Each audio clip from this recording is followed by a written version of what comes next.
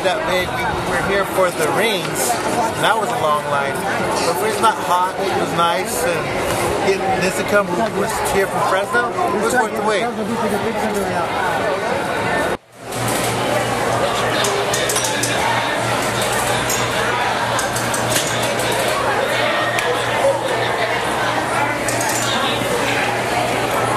Picture, buddy.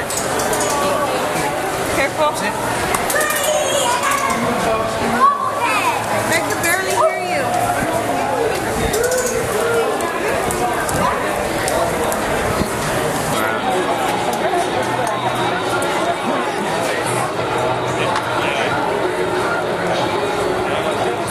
got the grizzly.